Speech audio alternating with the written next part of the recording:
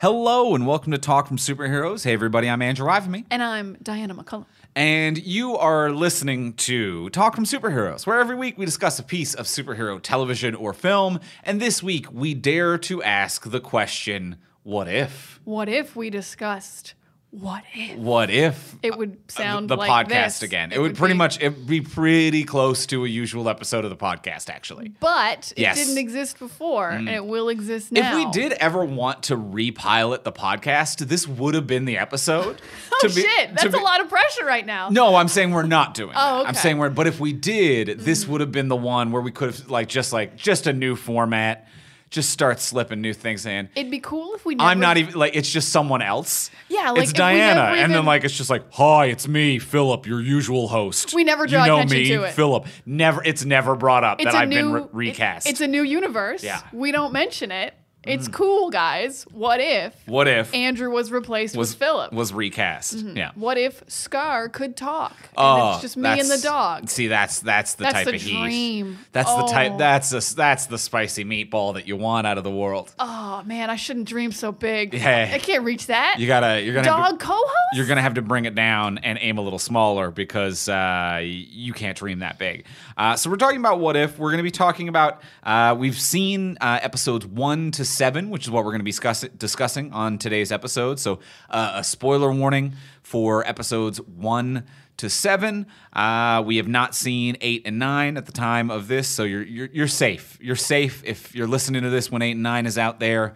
We haven't messed with those. It's one to seven, but there are they are all relatively self-contained little stories. So you know they can be air quote spoiled, but also it doesn't really touch upon anything else, so you don't need to worry too much. Yeah, they're contained, and the title gives away what happens. So I would say if Hmm. you're trying to avoid spoilers for this show, make sure you don't read the titles. No, yeah, you got to just like That's you got to blast that play button real quick you when gotta get in get right in there. You got to keep clicking. If you really want to go like, I don't even want to know what the change is gonna be, you Yeah. gotta dive in so fast. Which is tough because the Disney Plus interface does not really encourage that. Because sometimes you click things, and I think when you like click what if, it's one of those menus where it goes to the next menu, but nothing is selected. So if you keep hitting like OK or enter or whatever's on your remote, it's not doing anything until you hit like down. Mm-hmm, mm-hmm. You know, those ones where it's like, here's a new menu, and you technically are nowhere on that menu somehow. You exist both everywhere and nowhere simultaneously. They ask the question,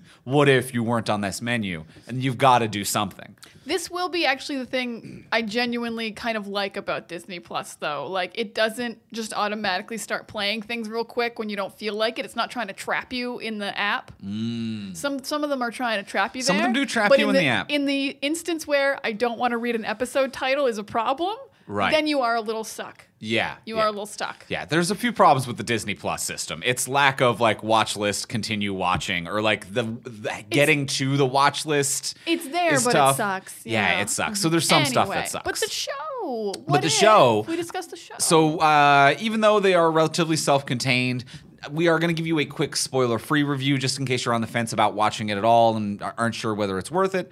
Uh, so we're going to give you a quick spoiler-free review. Then once you hear the theme music, that's when we're going to get into the spoiler-filled section. So if you're on the fence about watching What If, quick spoiler-free review. Diana, are you liking it? Um, I will say, I guess in general, I am liking it. It is a real roller coaster of quality. Um, it's started out crazy strong. I still think episode one is probably my favorite episode. And for me, it's been a down roller coaster since then, except this last episode was killer too. They really got me back. I was pretty much off the train completely. I'm like, pull the lever, getting off here. I don't really enjoy this anymore. Last episode really brought me back in. I was enjoying it. Um, so yeah, overall, it's like, it's really, it's, you know, some of the premises don't work for me, which is the episodes that really fail, but a few premises are really fun. They really capture some of the characters so incredibly well. It's really fun how many of the actors they got here to like it really makes it feel more special and like really actually like connected and you're like, "Oh, wow, this is a real MCU property. Like it feels more it feels more connected than the Netflix Marvel shows did mm-hmm. because they get all the actors to do the voices. So so in general, I really like it. Some episodes are stellar, some episodes kind of suck, but they're not connected, so they kind of can really switch in quality that way. So I'd give it a like if you like Marvel's Marvel anything. You'll you'll some some will be bangers, some you won't like. It's a real a real uh, platter of shows. Mm. Andrew, are you liking it? Yeah, I'm I'm also liking it. I think I'm similar to you. I don't think I'm as negative on the middle section of it. I agree that episode 1 and 7 that we recently watched were the better ones for sure. What were a little bit more joyous and fun. Uh, I kind of like that there is like a varying tone. So one thing that I think is nice about this uh, mini series, I guess we'll say, which is that there are a few episodes that I think just aren't for me. But I do think that there are some people out there who will enjoy them. I think that there is enough variation between the episodes that if you're into the MCU, there's going to be a couple of these that hit for you, and there's a couple of these that just won't because there is a varying enough uh, style, character choice, and taste from episode to episode. So I think that that is both its strength and its weakness.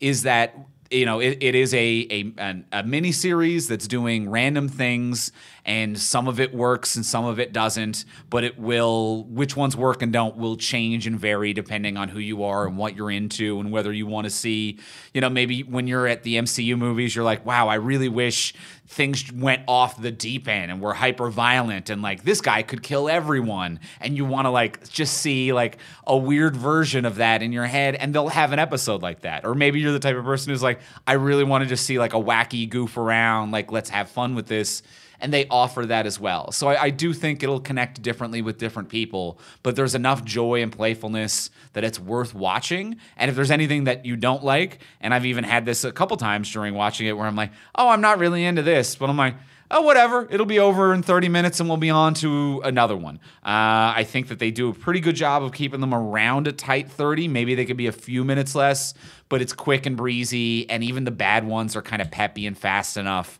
that I'm not really like, I don't really feel dragged down even when they don't land. Like I feel just kind of like, oh, this is this will be over soon and this is fine even when they don't land for me. I love all these points you're making for a show that I only kind of like. That's a great point about how it's not a show for one type of viewer. Yeah. Like we are like I am one type of viewer. I kind of like funner, peppier, more optimistic things, but not everyone wants that in their media and this is an anthology of what ifs and they're un, they're not connected stories so you can do anything. So yeah, cuz the episode I liked the least, there definitely were some tweets out there that were like, "This episode was incredible. I loved it." So it was for somebody. Yeah, that's a very that's a very nice way of looking at it. I love that. Yeah, mm, and you're right about the length. They can be a little shorter, but even when they're not great, they they're moving. Yeah, yeah, They're they're like we're not they're, gonna. They're quickly paced. They're quickly cut, and even even though I think they could be a few minutes shorter, they don't overstay their welcome. They're not too long. It is just like they are on the precipice of overstaying its welcome, but it never quite crosses over so far. Yeah, because pretty much everyone is like, what if we did a whole movie in 33 minutes? And I'm like, well, you're going to have to pack it in. Yeah. gonna... Yeah. So they definitely move at a pace. And that is one thing that I will say about these as well is that it does lend itself stronger if you are a big fan of the MCU. So because some of them are like, what if, uh, and not actual episode titles, but they're trying to compress a movie or several movies worth of plot line into 30 minutes. So they are hitting just like bullet points, the quick pillars of a character's storyline, assuming that you know the default one. So there is a lot of assumptions made from this show. It is both completely self-contained and not self-contained at all. Like it, it is a story that exists in this bubble pocket universe that doesn't affect the movies or anything. But you as an audience member, it does expect you as an audience member to have a certain level of knowledge about the movies and shows and the characters. It really does. Like you can I think you can understand every episode, even if you haven't seen the entire MCU, but it's way easier if you have and mm-hmm. way more enjoyable because you're like, I can fill in the blanks of the scenes you're skipping mm-hmm. or the ones that you've changed, or I know what happened originally. So, yeah, it's. It's uh, it's definitely a love letter to MCU fans. Yes, like you gotta know the MCU. Yeah, to, absolutely. To really, really enjoy this show. And can it be spoiled?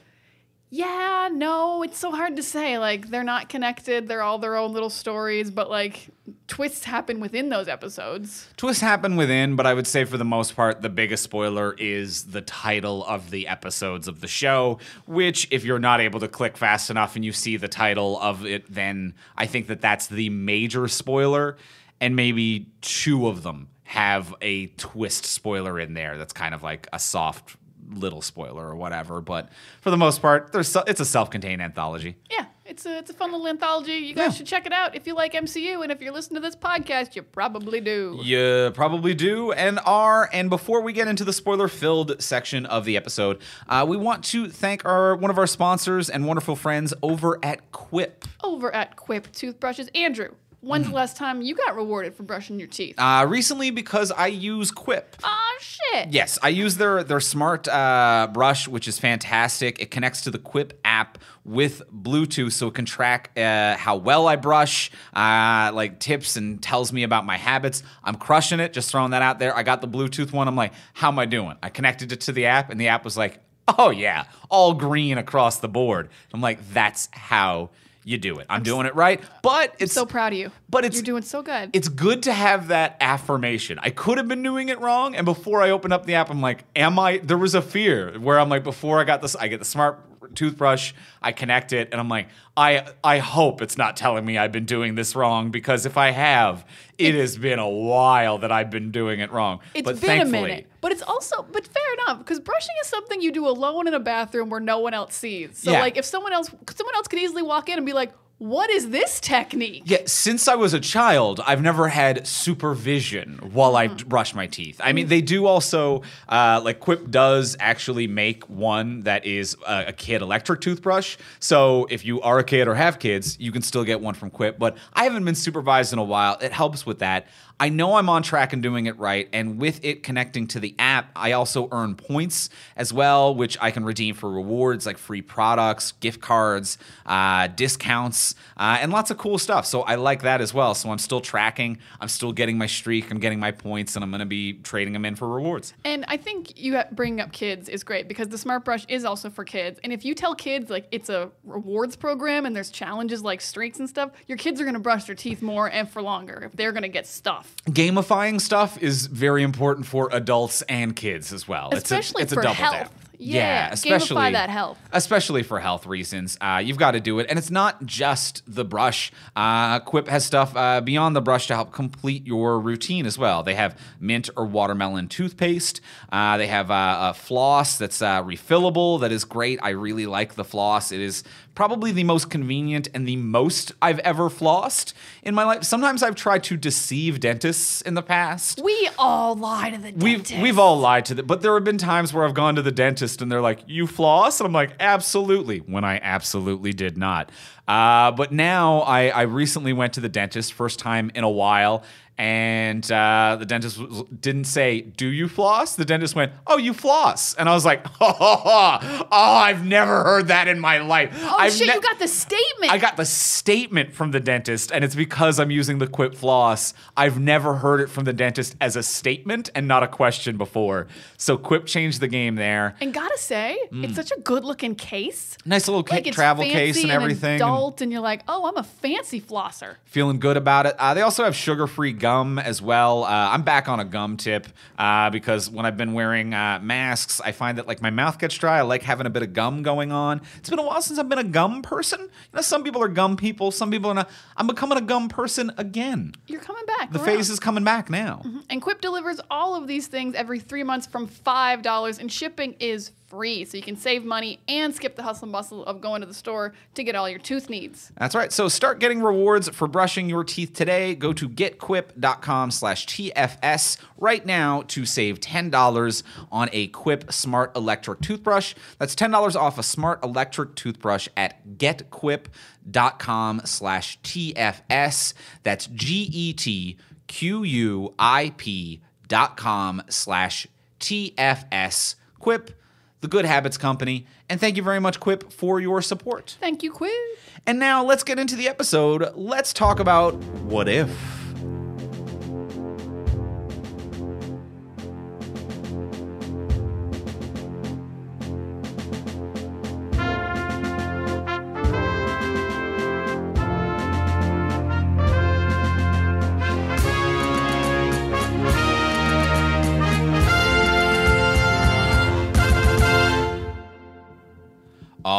So we've seen episodes one to seven uh, of What If. We are mixed bag liking it so far. I think it started with a bang. Oh, such a bang. let's talk about so episode one. What if Captain Carter were the first Avenger? What if uh, what if Captain Carter became Cap? Well, Captain Carter became Captain Britain in this scenario. Yeah. I loved this episode. It came in so hot. It's so fast. Peg- Peggy, as with superpowers, is so jo- so much more joyful than I thought she would be, and she has such a sense of humor and such like she finds so much joy in fighting Nazis, but also just in being powerful. Like it's such a more interesting story yeah, I agree. than Steve. Like, not that Steve's story isn't interesting, but like it takes that story into such an interesting way of like the first super soldier. and it's and it is obviously they're going through the beats of his story but with her but it's varied enough and i think they have a strong enough understanding of her as a character that it becomes her own and it has unique characteristics and things to it. So that's one thing that i really like about it is that it's not just a like we're gonna do all the exact same things but it is a different character a different sense of humor a different style and like hitting some similar fence posts uh, but with its own angle on it. It does feel very peggy It feels very Peggy, but in a way that I haven't seen her before. Not that she's like, she's not really funny, but she's like a little snarky in the in the movies. And I just feel like this is actually what the character would be like if she got superpowers. Um, like, you know, she's been working, she has to work so hard against everything against her in the time. She's a woman in war at a time when women can't fight.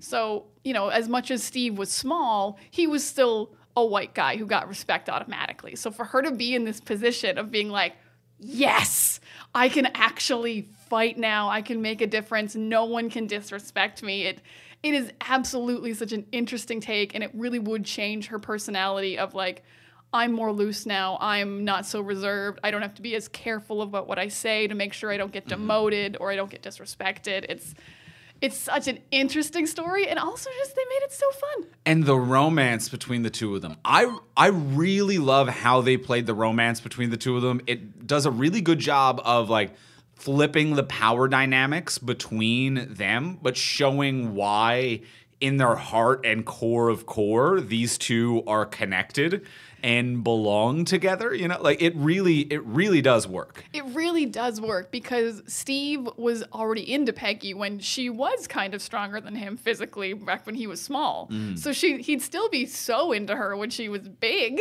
Yeah. he'd be like, "Ooh, double the Peggy, double the fun for I- Steve." Absolutely. And she like already respected him. So yeah, nothing changes for their dynamic except they're still super cute I- together. I, might even, and maybe this is just because there's less time spent with Bucky and Steve in this one, but I might even buy their relationship more in this scenario than I did in the mainline MCU.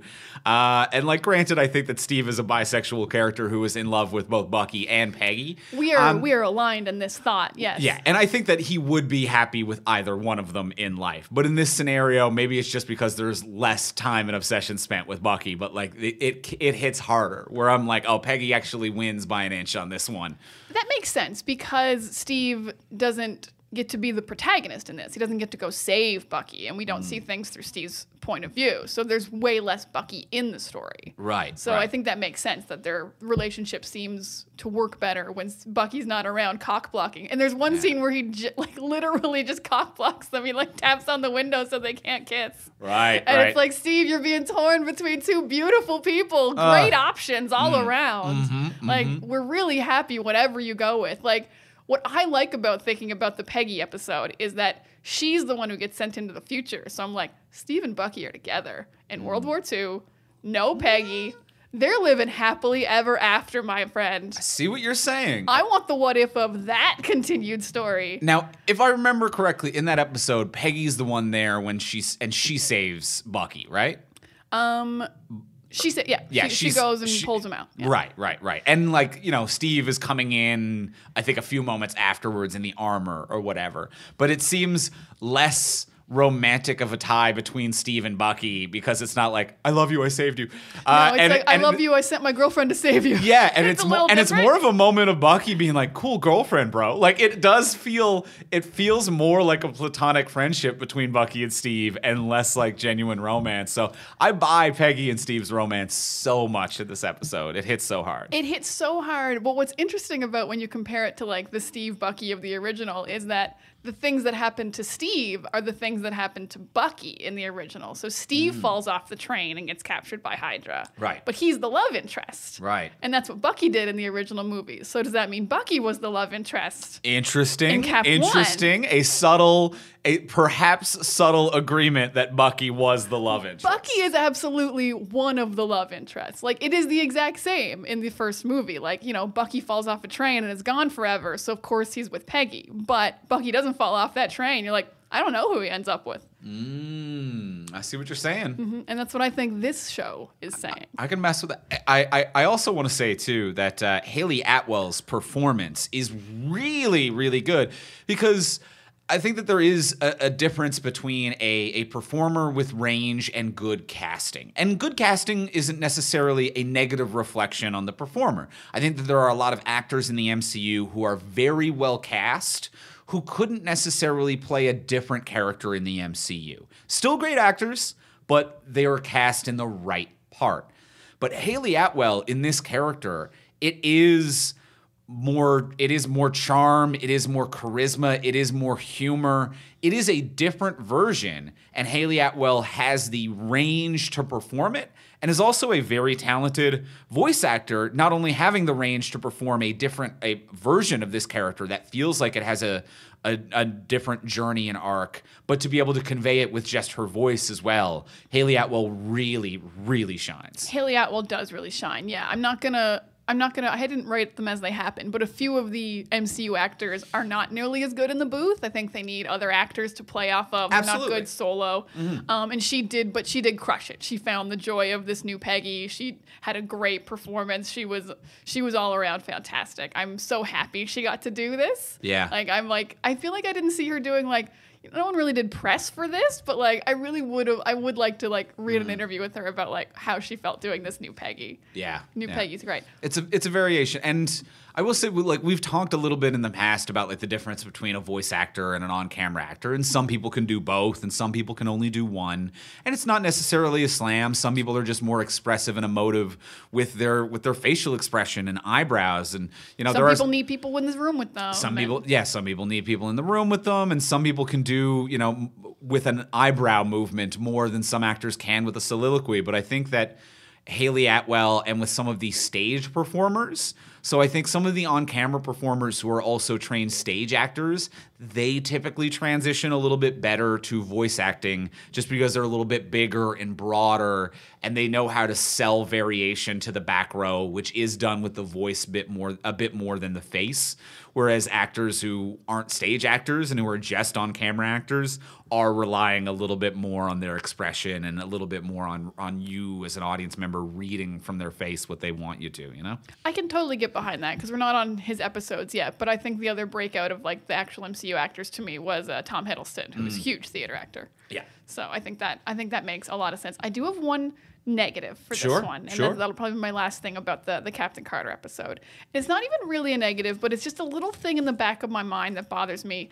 There is this slight kind of lingering sexism in this episode, despite it being an episode about like strong Peggy, cool Peggy, in that they're like mirroring a lot of beats of Cap 1, but Steve gets an Iron Man suit, and Peggy didn't get an Iron Man suit in Cap One. It Right. felt, and when I when I really feel in my heart, I'm like, it felt like you weren't willing to let Steve just do the little things Peggy got to do in Cap One. You're like, well, Steve Yeah. needs to do cool stuff. I'm like, well, that's not what Peggy got to do in Cap One. She got to shoot like one gun. Yeah. and you know, she gave good speeches, and she was cool. I love Peggy.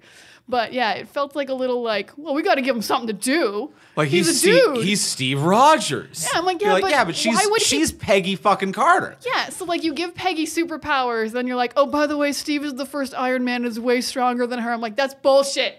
That's bullshit, and I don't like it. I wouldn't say he's stronger than her, but yes, yeah, he's He's he's. in an Iron Man suit. it's some busted old Iron Man made by Howard Stark. It's not as good. Current Iron Man could Yeah, barely right, take right, on. right. It's more like uh, Desert Captain Iron Man. Yeah. All right, but Yeah, still yeah. very powerful. Mm-hmm. They call him a Hydra Buster. He can fly, Yeah, that's true. but it's also so cute when they're flight when they're fighting all the planes together in the sky. So it's only a minor negative because I think it works for their romance and it's really cute. Right. But I do think there is a touch of sexism there of we won't make the boys do what we made the girls do. I fully agree. I, I fully, completely agree. I think that at best, and I don't think this is drawn attention to, and I don't think it was the intention, so it's certainly not an excuse.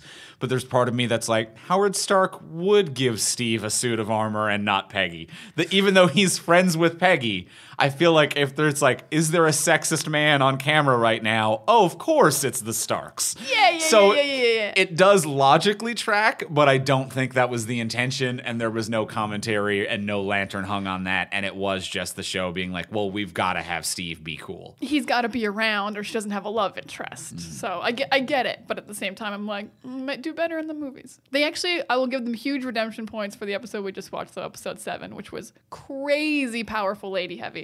Yes, that is true. So we'll get into that in a second. Yeah, so that's very so. So episode one we loved. Uh, episode two was what if T'Challa became a Star Lord, Mm-hmm. Uh, and that one was fun. I, re- I really liked episode two. I really I liked liked- it a bit more than you. I think. You did like it a bit more than me. I still liked it, but it was like I was riding such a high off the Peggy episode, which I found flawless. That like some of the Star Lord stuff as T'Challa, I was like, I don't believe Thanos is a henchman. I just like, I'm sorry, I'm no fun sometimes. Just a few things didn't quite track for me, but overall, I thought it was really fun. I really liked these.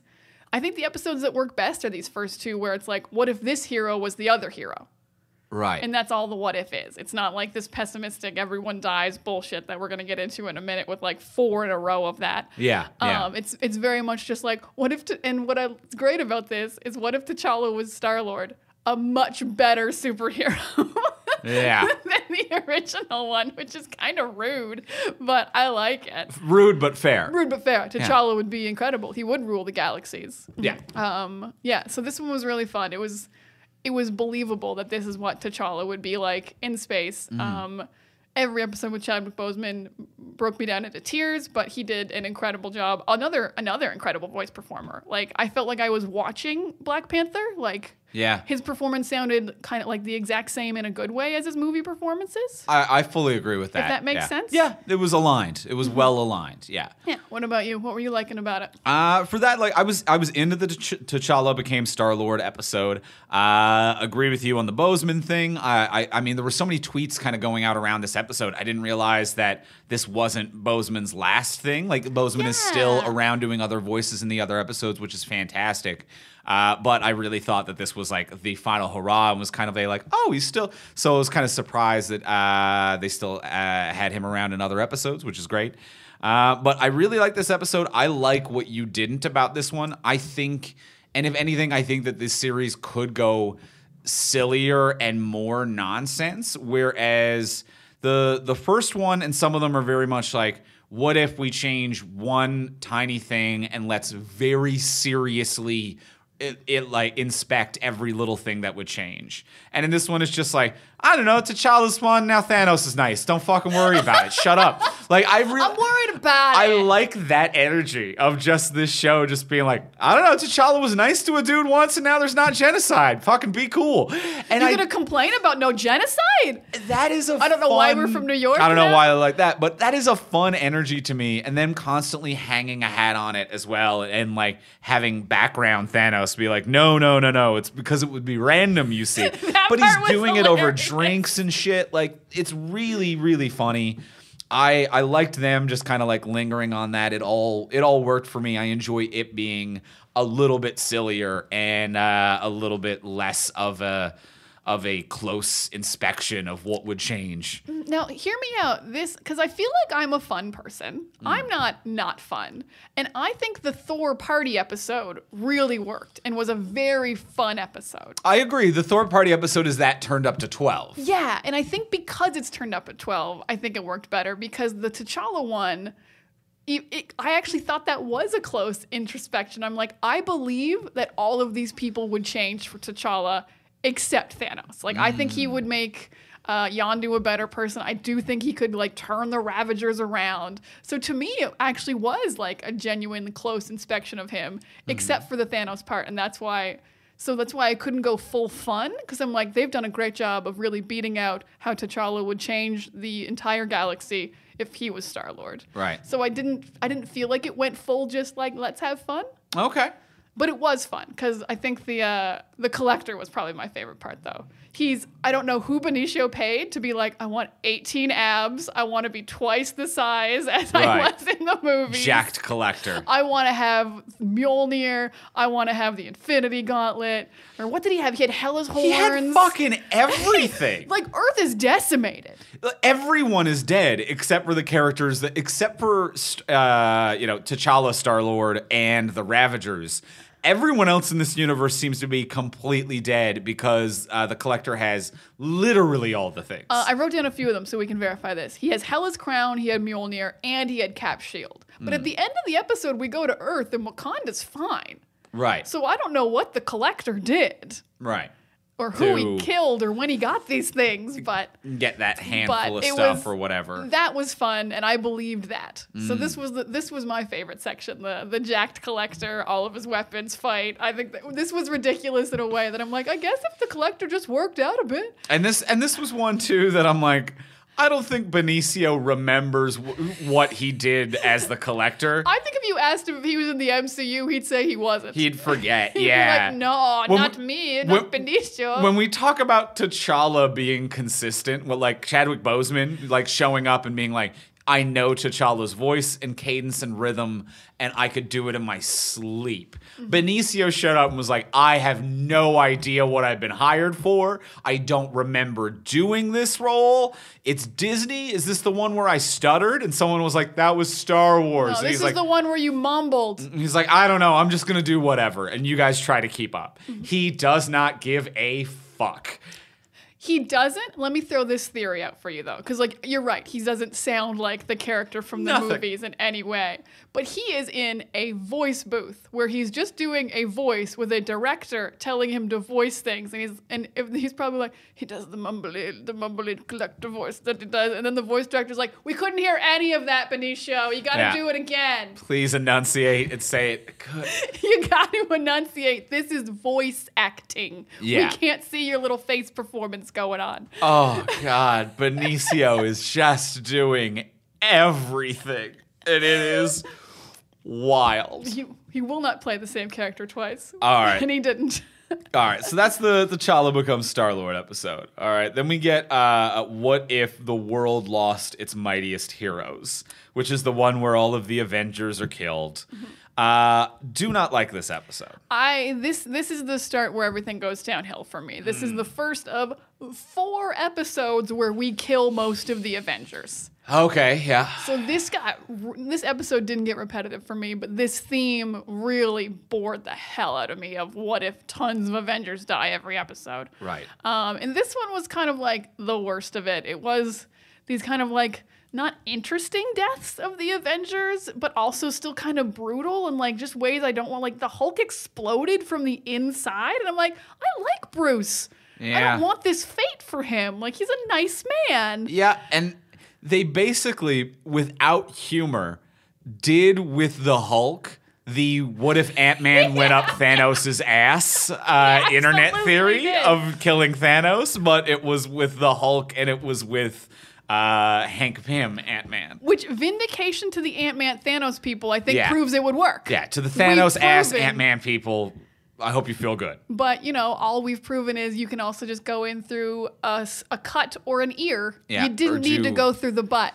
And, You I, don't need to go through the butt, guys. I think that if if this wasn't several episodes of this mm-hmm. of this similar like let's go for a brutal kill spree kind of a premise, I feel like there is a a, a value to this episode. I don't think it's the best one, but it's a classic comic book storyline. Your your uh, Tower of Babel Batman storyline, or like how do you kill each Avenger? Exactly. Like, and it's just be like, oh, that like what is what is a hero's weakness, and we kind of go through and explore that. That's fun to a certain degree. To a certain degree, most of the Avengers are regular people. I knew how to kill them. Mm-hmm. I mean, he kills Tony and Hawkeye just by walking in their ears. I'm like, yeah, they're humans. Yeah. Yeah, but also you shouldn't be able to do that. It's like with a little bit of Stark Tech, Falcon was able to see Ant Man. You know, yeah, like I guess, so. but he knew. Uh, he didn't know. They didn't know there was tiny people yet. All right. Yeah, They didn't know you could get small Yeah, Falcon. Falcon could Fal- see him. Falcon with a human gun was just like, no, I think I got it. I'm gonna shoot you I with get my it. bullet. I'll shoot an ant with a bullet. It still works, and it does still work, or it could still work. Yeah, but it's not. Uh, yeah, it's not. It's not a thing I need to see happen. It is, and also like I didn't really believe some of the motivations. Like, yeah, Hank Pym killing the Avengers because Hope was killed. Mm-hmm. Sure, he kind of really like pushed it and like, why'd you kill Thor? He's like, he could have become an Avenger. He's like this Yeah. regular human without his hammer. He's like, what? Yeah. That's why you killed Thor? Like this dude who just showed up on Earth a second ago? Like he'd been here for five seconds. And I also think one of the other frustrating things about this episode and about its framing device, uh, which doesn't really work for me, is that the entire conceit of these what ifs is it is the universe as we know it. What if insert change, continue the story from there? And I don't think they found like they they weren't sure how to reveal this in an interesting way because the what if isn't the what if of the episode. So the episode's what if the world lost its mightiest heroes, which implies that the story is like the Avengers die, who protects the Earth, who are the next Avengers, how do we move on? The what if is what if Hope Van Dyne joins Shield? That and is she the what and if. she dies, and then Hank Pym goes crazy and kills the Avengers. But that reveals the killer. That uh, yes, yeah, uh, but I don't think the the murder mystery was the fun part of this episode. So it's just a really awkward framing device where it's what if we lied to you about the what if and showed up to the what if too late. But lies aren't twists, as we've said on the network many times.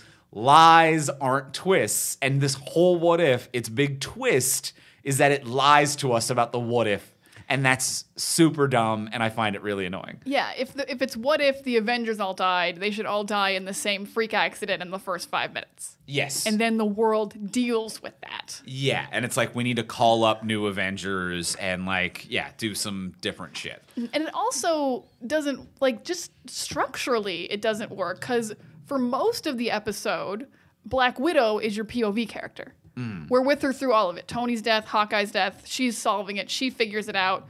Then with like ten minutes left, she dies, and now Fury's the main character. yeah and then it's also kind of Loki, and it's like the the POV just doesn't work Yeah. through, through the through the story. yeah One positive, absolutely huge positive. Lake Bell is incredible as Black Widow. yes oh my god She was aw- the best Black. Like you thought it was Scarlett Johansson. I remember because Yes. we didn't check the credits, and I'm like, she's not this funny, Because- and she's not this good. we knew that Chris Evans wasn't doing uh, Steve, and we- the, the the person who voices Steve does a fine job. Oh, yeah. We knew that RDJ wasn't doing Tony, and again, the person doing Tony doing a solid voice match of RDJ, fine work. Lake Bell is doing doing God's work. I like I didn't believe in God until hearing Lake Bell do Black Widow, and it is exactly Scarlett Johansson but better. It's kind of embarrassing for Scarlett Johansson to be like, a little bit. you can just be replaced by Lake Bell right now. it, in a second. Yeah, like it sounds like her, but like just the performance is like more full and believable and feels like a real person, but also still feels like Natasha. Yeah.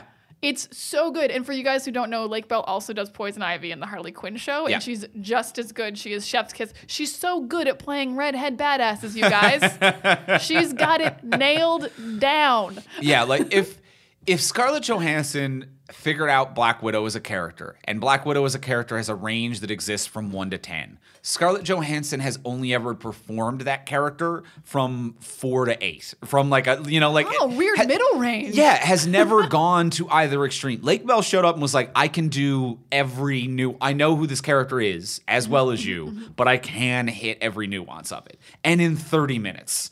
And it is a phenomenal and a wild ride of a performance. So this will be yeah. This is my biggest positive of uh, this episode. I didn't enjoy very much. Lake Bell crushing it. Thank you for for bringing that up. I feel frankly embarrassed that I almost forgot to say how absolutely terrific that Lake Bell is. This is why I take notes. you are No. you are better than me. I'm so literate. Uh, all right. Well, let's take a quick break in the podcast to thank our other wonderful sponsor of today's episode. I want to thank our friends over at NordVPN. NordVPN gonna keep you safe. They're like a cyber Swiss Army knife. They're gonna protect your privacy. They're gonna protect your computer. Mm-hmm. Yep. For privacy. Yeah. And they're gonna. And they're going to allow you to access perhaps region lock content that you might not be able to access wherever you are. So there's a lot of different things that it's going to provide you. Uh, you need a VPN, and NordVPN offers a fantastic service. Uh, we use it here. It, it's it's given great speed, great security, great protection, and allows us to skirt around things that maybe maybe companies don't want us to watch here in Canada. So You can't stop us, companies. That's we can right. we can see things in 59 different countries with NordVPN. absolutely, and and we should be able to see the things. Yeah, geo-restrictions should not be an issue, and they no longer are. You can change your location with one click. It's super easy. VPNs sound complicated.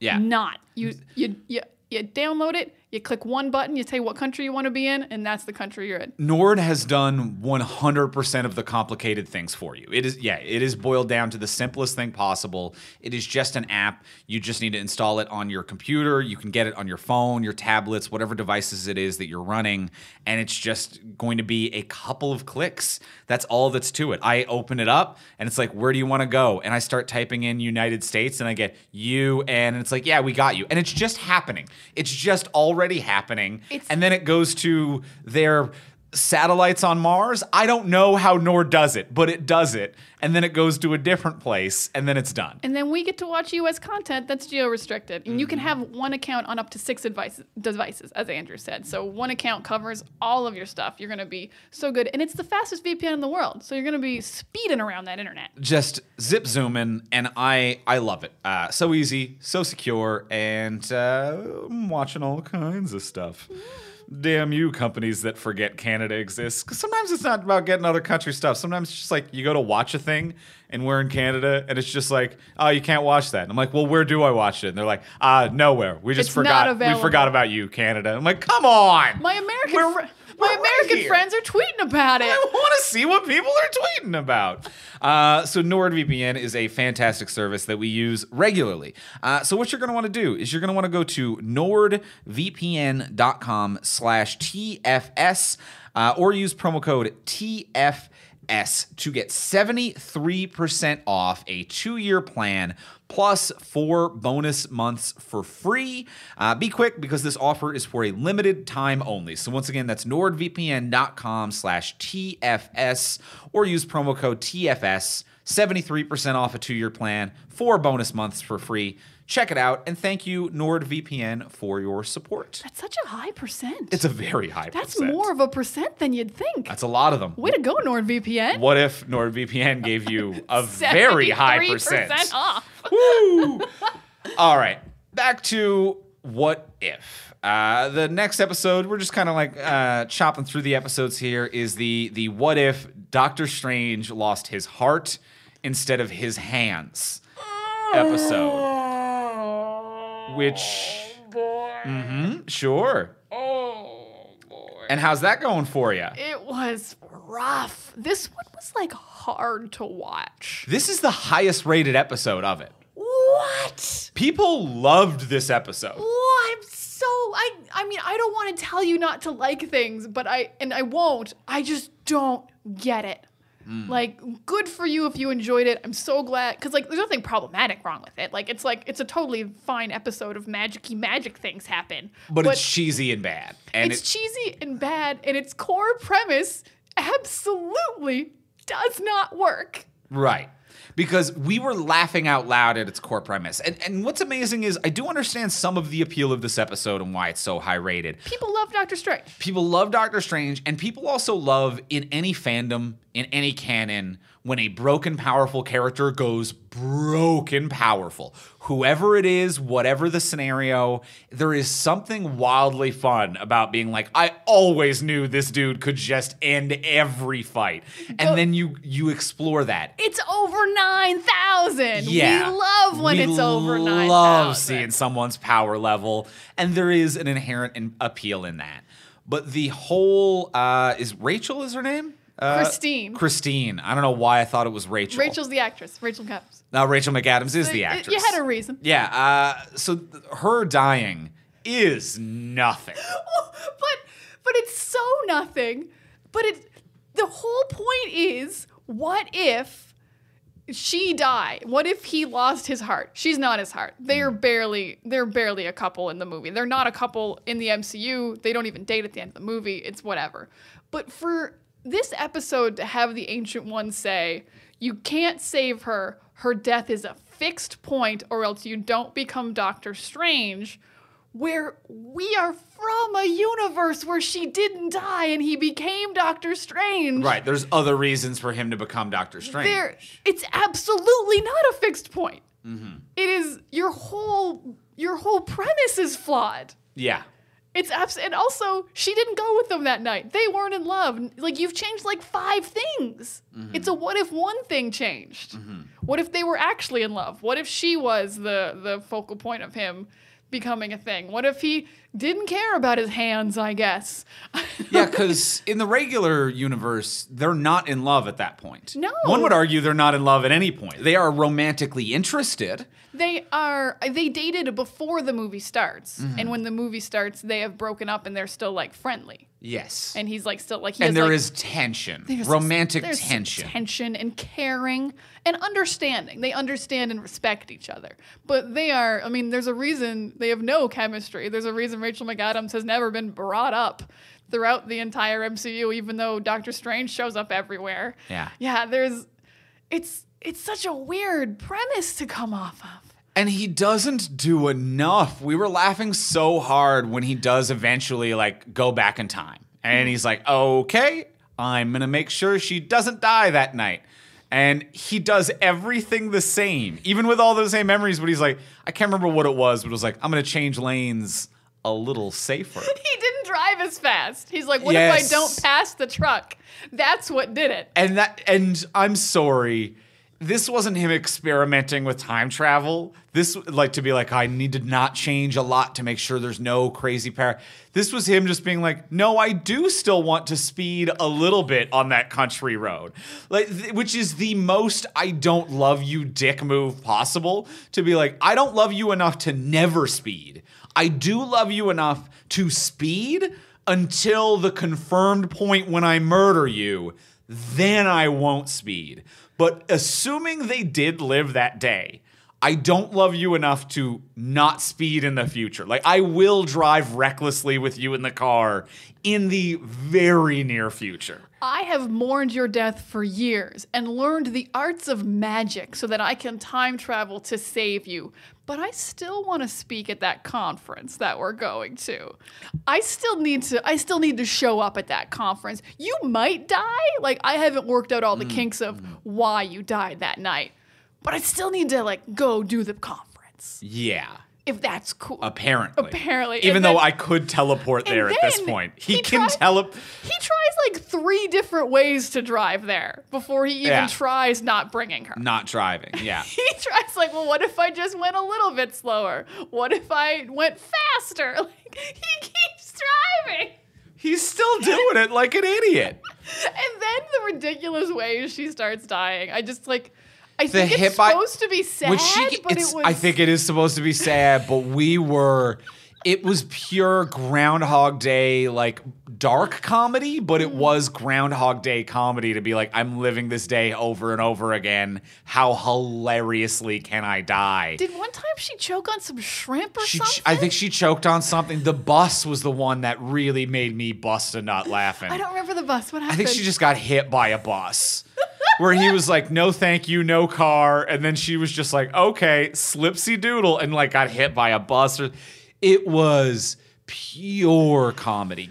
Eh, So funny. Such comedy garbage. but so like unintentionally funny. yeah, yeah, Absolutely. yeah. And like it's kind of cool when he goes and absorbs a bunch of demons to make himself Sure. more powerful. But I'm just like, whatever, it's magic gobbledygook. You then you fight yourself and you eat yourself and then the universe dies and it's all sad and, and the watcher can't help you. It's, Yeah. It was just to me it was nothing. Ha- happy for you guys who liked it. I don't get it. Mm-hmm, mm-hmm. I, I I, don't get it.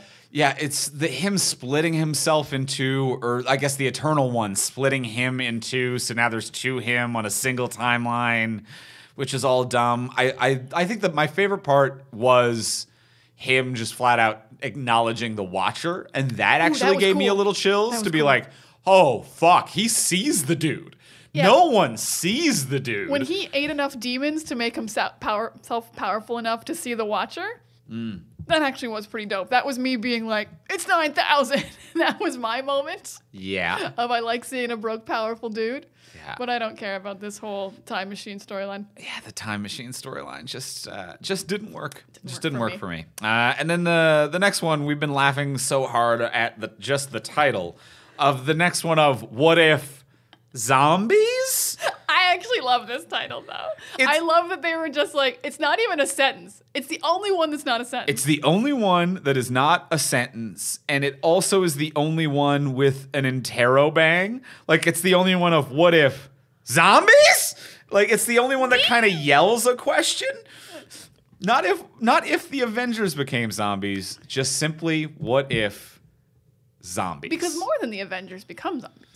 That is regular true. humans also. Regular you get real, you get real zombies. Mm. fucked when the Avengers become zombies because then you got powerful zombies. So the zombie episode, uh, so like we saw with the Lost Its Mightiest Heroes and with the Doctor Strange losing his mind thing, like some crazy murder fantasy episodes. This one is a little that, but a bit more playful. I actually had a pretty good time with What If Zombies. I know this like middle section of episodes we both agree lulls a bit, but this was a little bit more fun than the rest. I actually had a pretty good time. I actually also had fun with zombies. I Oh. think I think we killed the Avengers too much, but if you're gonna kill the Avengers anywhere, it's gonna be zombies. And also, you know, Marvel zombies is a thing. I've read a few of them. They're kind of fun. If you're doing a zombie episode, you know the Avengers are gonna die. It's not gonna take you by surprise and make you really sad like in the other ones. So yeah, mm-hmm. this this was actually really fun. I actually quite enjoyed this one. This one was fun because you got to watch like all the heroes deal with zombies and kill some of their friends as zombies and be like sad but not sad and like horror tropes. But it also had heart like hell. Spider Man was incredible in this. Absolutely incredible. So to do a zombie episode where you're like, ooh, gory zombies and ooh, horror tropes, and then also be like, oh shit, my heart. yeah. That's hard. Yeah, because Spider Man was uh, was beautiful. I'm trying to remember who it was he was having the speech with. Uh, Uh, he was saying it to Hope because she was infected Right. and she was like, she wanted to save everyone while she was dying. Yeah. And they were like, How are you so optimistic? And he's like, Well, my Aunt May used to say, She's like, Oh, I guess he's gone. Well, but she used to say, If we're not, if we're only sad that the people we love are gone, we might as well just be sad or something like that. Or like, Right. we, they, they would want us to be happy. right, We might as well be with them if we're just sad that they're gone. right, right. So like that's it was it was fra- I, I wish I'd I written can't the remember- yeah, I down, wish but I'd it was written it down as it was well, but it- pure Spider-Man. Yeah, it was it was condensed. Tap it into my veins. Uh, just pure Spider-Man extract, all in in this one beautiful moment. Uh, and then some fun stuff too, with like uh, with uh, Wasp becoming giant. But then she gets well. zombified Yeah. and she's a giant. That was really cool. I got what I need. Uh, I got Bucky with a shield. Mm-hmm. Uh, love seeing Bucky. Love seeing the the Wakandans around all the time, being like, "We're survivors. We're the Wakandans. You Right. can't you can't keep us down." Paul Rudd in a head jar. Paul Rudd in a head jar was great. Anyone's gonna be in a head jar and then having the cape like float him around so he had a body, I loved I I loved Scott Lang in the Cape. Scott Lang Hedjar in the Cape is I want to see those ongoing adventures. It's wild that Spider Man had to do like a speech about like you just keep your optimism, and, and everyone's like it's hard, but we'll do it. And then Scott Lang is like, I don't even have a body, but I'm still Scott Lang. Do do do do do do. I didn't even hear that speech about optimism. Do do do in a jar. Do do do do. Relatively unfazed. He is rolling with the punches. Mm-hmm. That is dumb, but really fun. But like, it's a fun like throwaway episode. You're like zombies. You're not recovering from. No. Um, I am. I'm not mad, but this was another episode where at the end you asked if I was okay because I started crying about Chadwick Boseman Mm.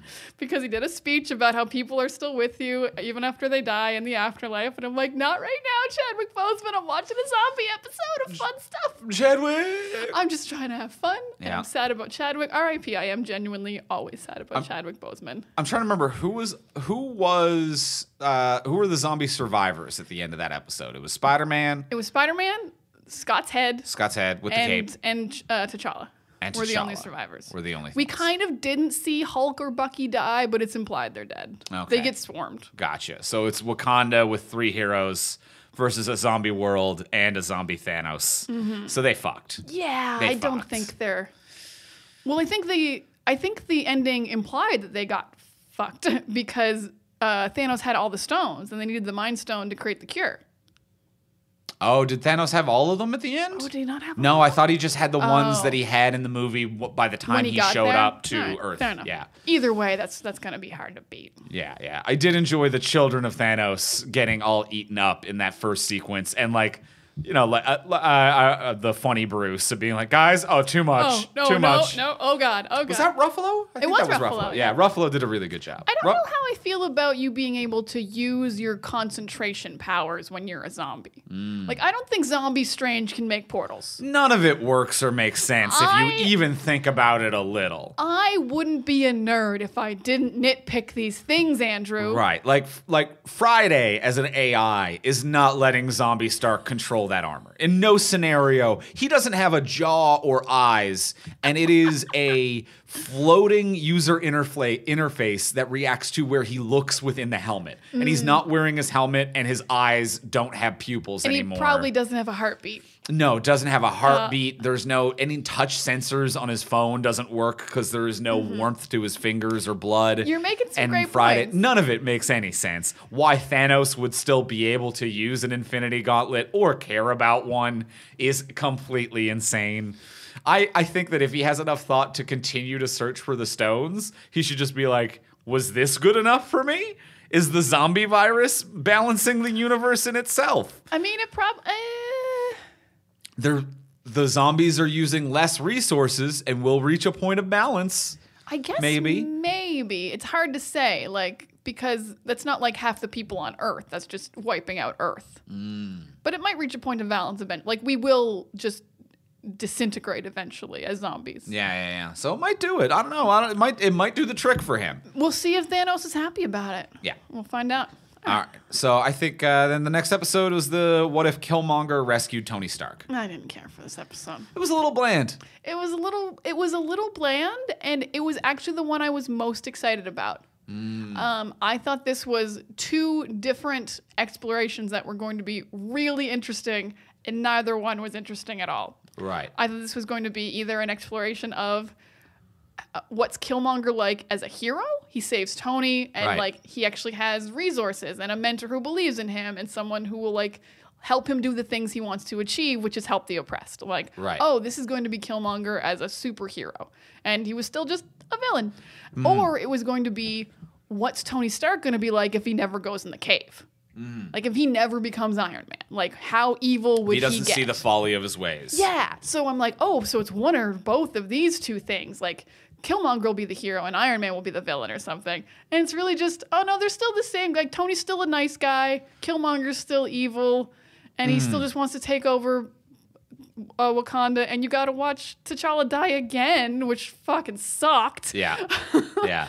Uh, so yeah, I just, uh, yeah, nothing about this episode was interesting. it was a continuation of a thing that we liked about Killmonger, which is like his sinisterness and how well thought out and executed Killmonger's plans are. Like even in the even in the movie, like Killmonger diplomatically understands what's going on and like capturing an invader to offer them as a sacrifice to make yourself look good and like being a triple agent playing every side just Oh. to watch it all fall. His strategic mind is incredible. So I think it was very impressive writing and a strong understanding of Killmonger, if not a new, but it wasn't, you're right, it wasn't a new exploration as much as it was just a like, let's do a, a slight detour. And, and it's fine. Yeah, it's Eh. fine. But what's interesting about Killmonger to me is like he's a strategic mind, but he's also, you know, morally gray. You're like, in a different setting, he's absolutely a hero. Mm-hmm. In like just a slight POV change. So, but like that's not explored in any way. They're just like, he's a straight up villain. Yeah. So that was it was a real missed opportunity, I think. And I think Michael B. Jordan deserved a chance to like be a hero Killmonger. Yeah, because this is this is another one of those scenarios. I think because because the writing wasn't there, it didn't allow Michael B. Jordan to show range. Mm-hmm. And Michael B. Jordan was great and did a, a very good job of like being right back in char- character. It feels like a, it feels like missing scenes from Black Panther. Like it feels like not a second was missed. Michael B. Jordan is Killmonger again, but doesn't get to explore or go to a different direction with his performance of that character. Mm-hmm. Yeah, I did like the joke about liking anime. That was a nice That was deep funny. cut about how Michael B. Jordan is super into anime. so I like that he has a sense of humor about himself, like the Space Jam joke as well. Like Michael B. Jordan, you're fun and I like you and I wish you all the best. Yeah. A lot of love for Michael B. Jordan. So yeah, this episode was kind of nothing to me. Yep, I'm with you there. And then uh, that brings us to the most recent one that we watched, episode seven, which is what if uh, Thor were an only child? Loved this episode. This episode was fantastic. It had a few little flaws, but for them, like so fun, I so fun. so I have a question. I don't fully understand. Was the planet gonna party to death? Was he lying to Jane? Because at one point he was like, "We partied real hard, and then an asteroid hit or whatever. I didn't have anything to do with that." I this was actually literally what I meant when I said it has some flaws cuz I don't know and that's made super unclear. Like when Captain Marvel like I thought there was like a virus that was making them party Well, and it was going to be like a Loki trick that he was playing. Because at one point they even say like like uh, a Thor or whatever is in Vegas, and they're like the party is spreading. Parties are just breaking out across the globe. But like, why? Why would they? That's not how parties work. like I guess like some parties would. Some people would like see it on the news and be like, aliens are here and they're chill. Let's have parties. But just as many people would be like, arm the nuclear warheads. Let's prepare for the end of the world. I don't know why there was a party virus. I don't know. And there wasn't, though. There was no virus. It really was just people came to party with Thor and they chose different continents, I guess, and they would arrive and and like they destroyed some stuff, but not to the point where I thought Captain Marvel should throw punches. Mm. Like they weren't causing that much damage. Although, you know, aliens show up and you can't control them. You do have to do some you Yeah. got to you got to get them off the planet. Yeah. But yeah, it was it was really unclear what evil was happening. yeah, And at the end, when Thor was just like, "No, this was just a party, and there was no nothing sinister happening at all." Because when he asks for help to clean up, everyone's leaving, and then he does like just say like, don't though. And then they don't, as if there's like a mind control spell that he's doing or has access to that just isn't brought up. Yeah, and there's like, and it feels like at one point maybe the script was that it was a Loki virus because he does things like dropping Thor's phone and breaking it, and he's leaving, and he's like, Thor's mad at him, and I'm like, was there a version of this script where this was a Loki mischief virus? Ah, I see what you're And saying. And you guys changed it for some reason and didn't really get all the elements out. oh, maybe, maybe. Because I agree, this was also this did damper my enjoyment because I was like, I'm not sure what's happening, but I'm having a lot of fun. Ha- I had so much fun on the ride, but I did have questions about the ride. what but- ride am I on? But I agree with you. Which ride is it this? was uh, it was it was a lot of fun. It was a bananas episode. Everything is going on. Fucking everyone came to Earth for this party. I adored so many quick jokes in this. Like I, I have so many questions about giant blue Loki. I'm like, could you be big at any point?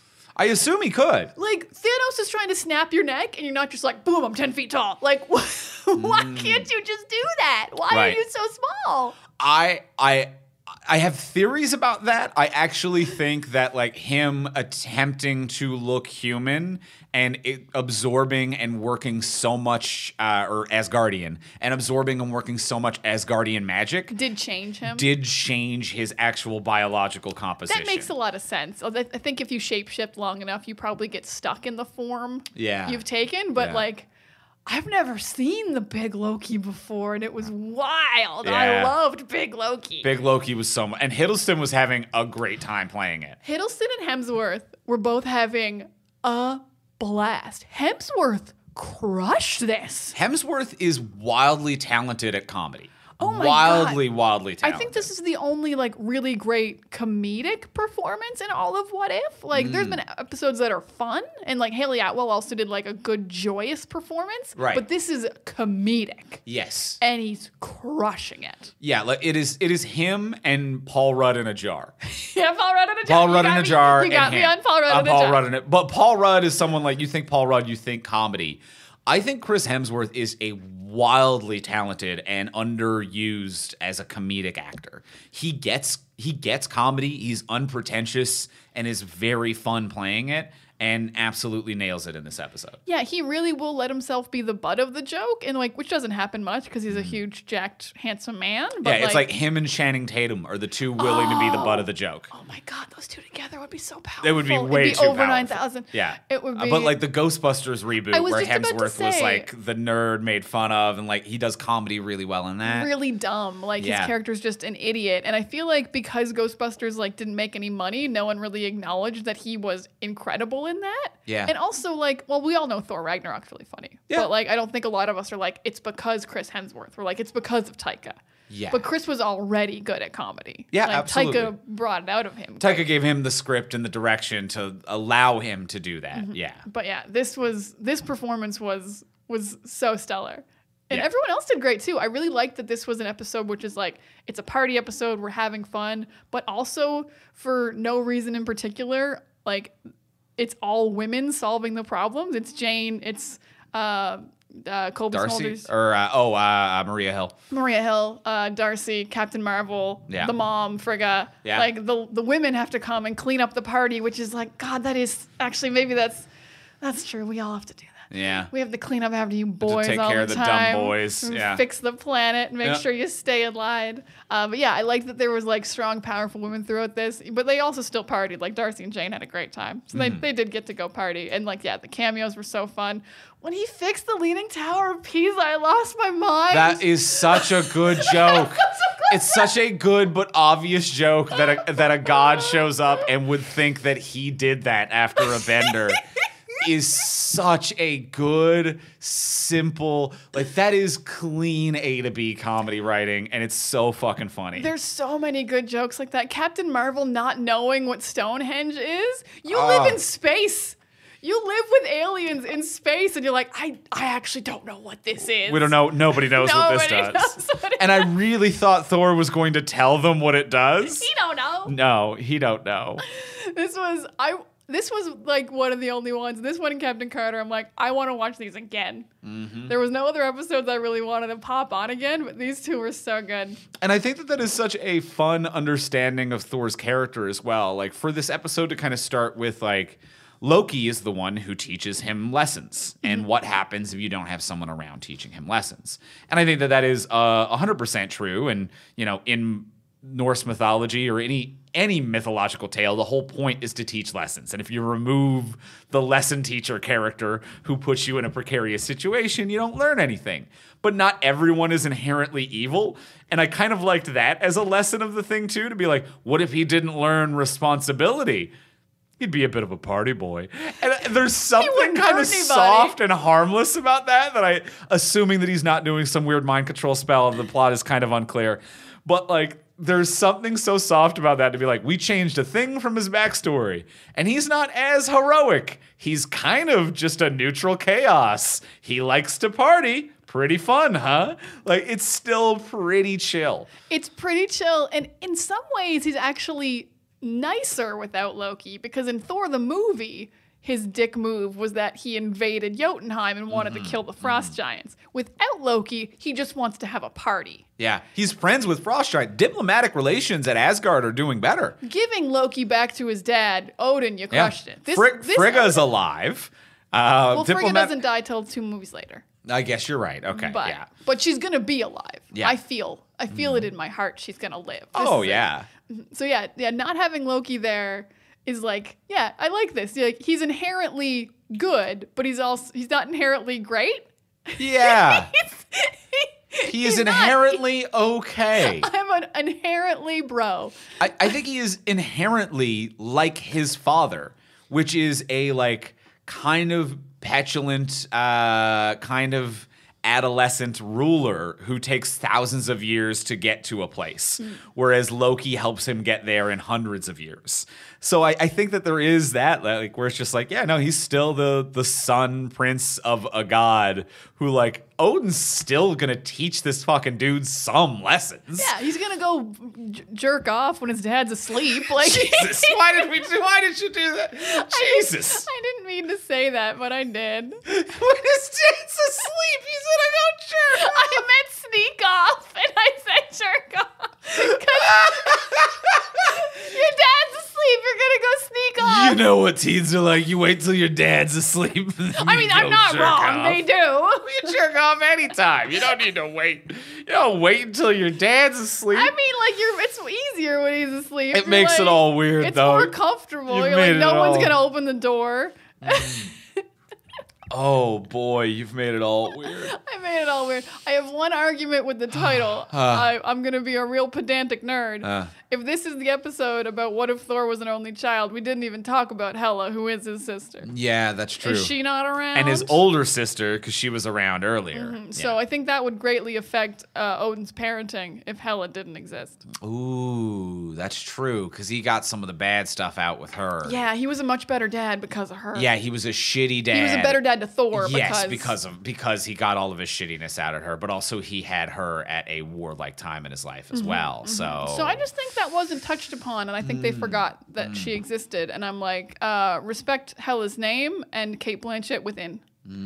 So that's, Mm. Yeah, that's my my. respect you Cate gotta Blanchett respect Cate You've- Blanchett as Hela. you've gotta respect it. But yeah, fun episode. I really like that one. fun. I like the fun ones way more, and oddly enough, like all of the murder ones are just are much higher rated uh, episodes in terms of like fan reaction and like IMDb and Metacritic rating. Are we not the ideal audience of the MCU? I want goofy, silly shit. I want silly, fun shit. I mean, the Ant Man movies are my favorite MCU movies, probably. They're they're up there. They're pretty good. they're delightful. I do like a Spider Man too. you do like, although I will say the zombies episode is very good. Yeah, yeah. You're allowed to kill off the Avengers in a zombie. In a zombie, episode. you can do whatever. In a want. zombie, you can do what you want. All right, I think uh, I'm feeling good on What If. How you feeling? I'm feeling good on What If. I'm excited to see what's going on with these last two and if they're going to explain where uh, Infinity Stone Ultron came from. Uh, if that's to Vision, connect. Ultron, Infinity Stones. yeah, if that it seemed like it didn't make any sense. it caught even the Watcher off guard, and he's the one telling the story, so that's kind of strange. That is that is making me think the last two are actually going to tell a story? Question mark. I've been waiting for that, especially considering that. Uh, so uh, the voice of the Watcher is Jeffrey Wright. Yes. uh, who's a, a phenomenal actor. You might, uh, you know, listeners, you might know him from Westworld, or uh, he played uh, Felix, the CIA agent, in the recent James Bond movies. Uh, phenomenal actor. He's terrific. But he's really just doing that opening VO and a touch here and there. But to get him, and he's like top build as well. I think that they're going to do something a bit more with the Watcher, and I'm kind of waiting for the other shoe to drop. And maybe, maybe that was it. Him at the end of episode seven being surprised, which he shouldn't be because he's omniscient. Uh, He's the Watcher. He sees all, knows all. He's omniscient, omnipresent, uh, omnipotent. He's all It's those He's things. all of the omnis. He's omni omni. He's all of those things. So yeah, I don't know. I don't know. I feel I I have been waiting for the other shoe to drop. Maybe that was it. I think that they're going to give the watcher a character and a choice by the end of this. I think they show. I think they have to. They've been kind of hinting at it since Strange talked to him. I Mm-hmm. think that was the point where you're like, oh, okay, there is going to be Yeah. something happening here. Yeah. So I don't know what it will be. But I don't know if it'll like because I don't know when these were all supposed to come out because the schedules are all weird. Because I'm like, in a world where the schedules aren't messed up, I say last episode ties in with the Loki multiverse things. Right. But in a world where I'm like, they kept making the animated ones, but Loki came out later than it was supposed to be. I just don't know. Yeah, it's tough. So It's tough. All right, well, let's go in for the close. Let's ask the final question of what would you change or what if you could change, change something. something. What would you change? That's kinda what we do About, it's kind of what we've always done. What if the- there was a change? What if there was a change? Uh, so we're gonna do They that. They stole our thing. They stole our thing, really. Uh, we do we that. we did that. They definitely have been doing what if since the 70s. No, no one look up the comics. So uh, we're gonna go in for the close, but before we do ask the final question of what would you change, uh, we're gonna remind you, as we do every week, if you haven't already, please uh, follow, subscribe, rate, and review on Apple Podcasts or wherever you get your podcasts. If it's Spotify, Podcast Addict on Android, there's lots of other podcatchers out there that you can uh, that you can use. Whatever you're using to listen to this right now hit the subscribe or follow button and leave a rating and review. Uh, I know every podcast tells you to do it. It's important for a reason. It's because it's how we find new listeners, how we get recommended to new people. The it, it pleases the the algorithms that which are the the gods that we bow to in the digital age. Ah, please algorithm. Dear algorithm, please let people see our podcast. So do that for us, please. Do that for us, please. And a quick, a quick, please, please, please. We see the numbers. We know a bunch of you are listening on Facebook. Thank you for listening. Oh yeah, thank you for listening on Facebook. Thank you for listening on Facebook. Please get a real podcast app. Yeah. Don't trust Facebook to show us that you're to show us to you. No, they won't. They're They- gonna stop. At some point, they're gonna hold you hostage. So, as j- as a quick side tangent, all right, for those of you who aren't hitting fast forward, here's here's a little fun side tangent that we're gonna go on. A little peek behind the curtain and some information about Facebook. Facebook recently added the option for Facebook podcasts, so you can get your podcasts through Facebook and through the Facebook page. And we submitted to it because anything that allows us to access our fans and our listeners easier is great. At some point, Facebook's is gonna is gonna fuck us. They're gonna fuck us. They They've it- always fucked us. they give you they give you a new thing Yeah. and they show it to all your fans Yeah. and then they stop showing it to your And fans they- like give us some money and, and we'll show it to hold your it fans hostage. Yeah. So like the way it used to work, for example, when we first started our Facebook page with our webcomic, it used to be one to one. If you hit follow or like or whatever term they used at the time uh, on our Facebook page, if we had a thousand people who liked us and we made a post, a thousand people saw it. if a thousand people logged in that day whoever logged in that day They saw s- that post They saw it. And Facebook at the time was like, if you pay us money for advertising, we'll show it to new people. Then at some point, Facebook did the rug pull and they turned all Facebook pages into a hostage situation, which is, you know, these numbers aren't exactly right, but if you have a thousand fans, Facebook is like, we showed it to 10 people who like your page. And if you pay us money, we will let the other people who like your page see it. So now they're not even charging to show it to new people, they're charging to gatekeep your own fans from you. And that's their business model and why they make so much or one of the many reasons why they make so much money. And now with the podcast stuff they're like it's one to one we're going to show it to everyone. Don't worry about it. I'm like very much you are going to fuck us. So if you're listening on facebook thank you. Love that you're listening. Welcome Facebook will fuck us, which also will fuck you because at some point you'll be like, wow, have, how come they haven't uploaded a new episode in a year? Or and it's because we haven't been spent giving money to Facebook for them to show it to you. or you'll forget we exist because Facebook hasn't been showing us to you, or you'll think we're not podcasting at all Yeah. because Facebook is not showing it to you. So thank you for listening. We so so appreciate it. But yes, it is.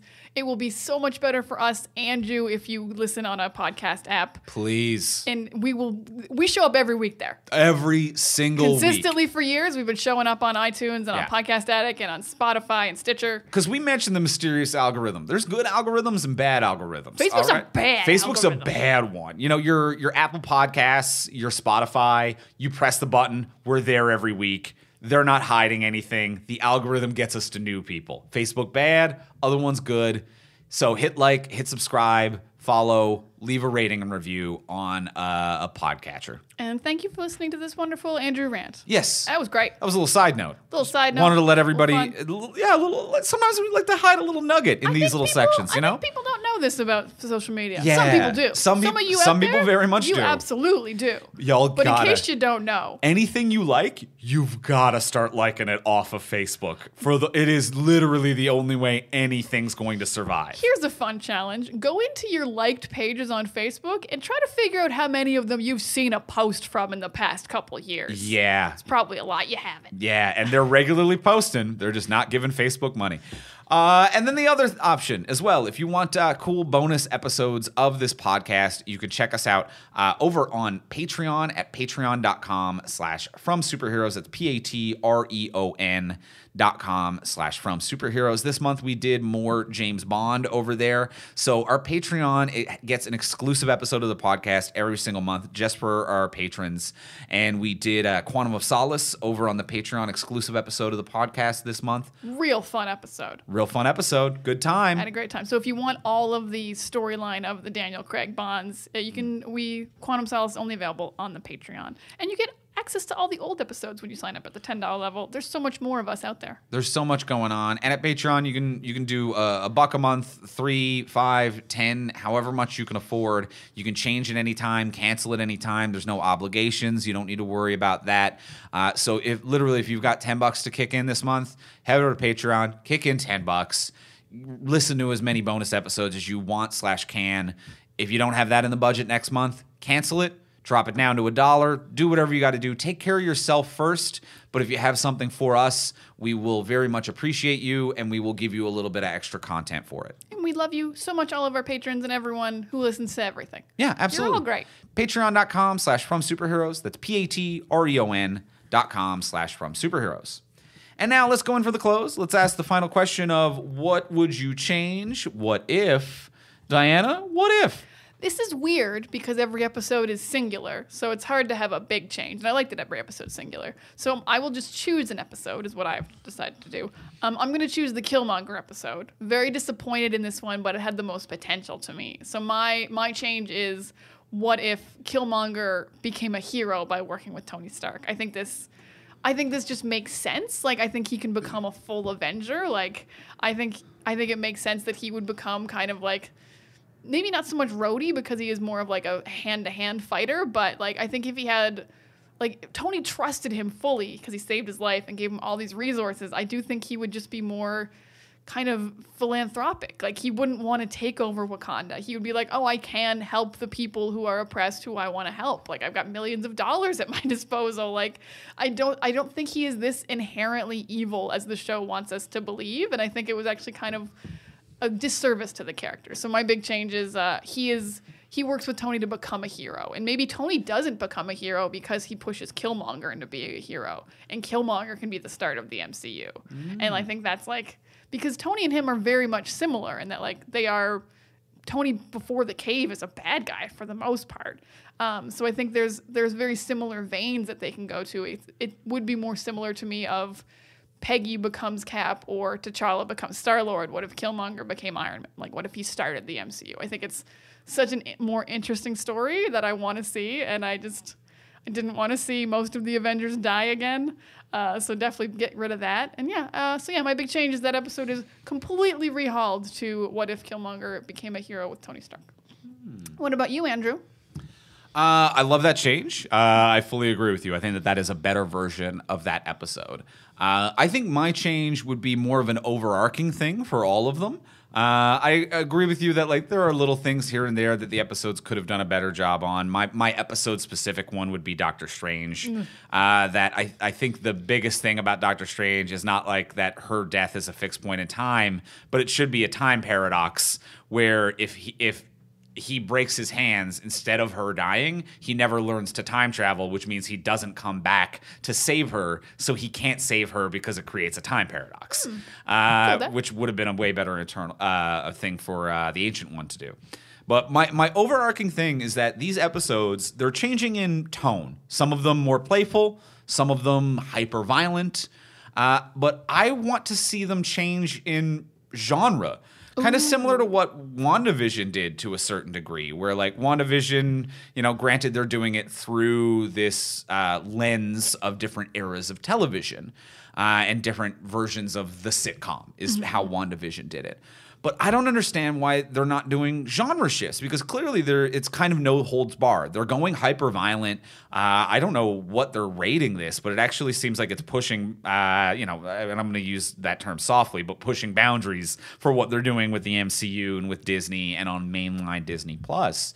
But the zombie one, granted, zombies are kind of like silly and fun in this scenario, but it's like, why can't we have that as a horror one? Like, why can't we have a full on comedy? Because the zombie one was like a little intimidating, but it wasn't presented as a horror. I want to see different Oh, genre. I, I was actually just about to say the, the the zombie one is horror. Why didn't they do that with with other ones? Oh, okay. I thought it was. I thought it was horror. Like they did like shadowy reveals of zombies and like it was gooey and they were gross and they did the tropes like don't separate, you're gonna die. right, right. So I think that was pretty horror. But I, I Okay. agree with you that's the only one that was a genre. Like right. they didn't do I don't know, a western episode or That's and that and that absolutely could have easily be done. Like you know, what if Cap gets sent back in time and like the Tesseract somehow or whatever fucking sends him back, and it's Captain America in like a western, and he's like the guy wandering from town to town saving the day. Like Cap in a western makes so much sense. Yeah, yeah, I love that. There's there's